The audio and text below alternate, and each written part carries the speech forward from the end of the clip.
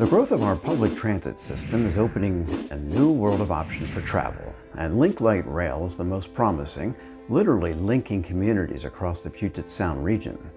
A major step taken in 2024 was the rollout of the East Link Starter Line.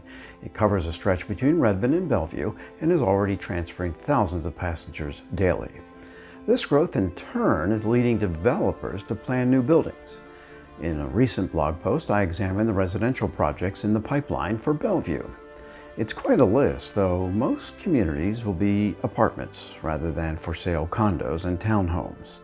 Check out my story to see what's coming to the Bellevue skyline within walking distance of light rail.